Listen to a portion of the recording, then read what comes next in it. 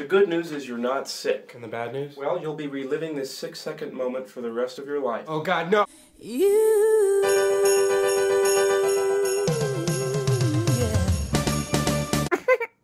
That is not correct. Because according to the encyclopedia of Emergency. somebody at our prom has been killed, please help. Well, calm down. We don't want to panic at the disco.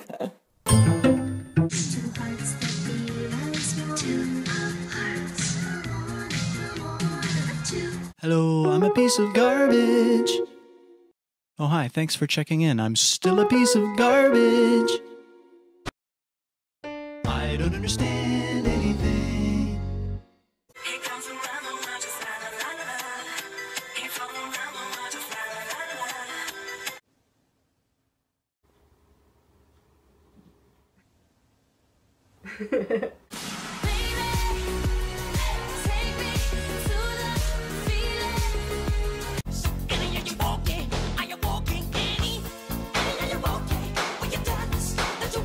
I want to see my little boy.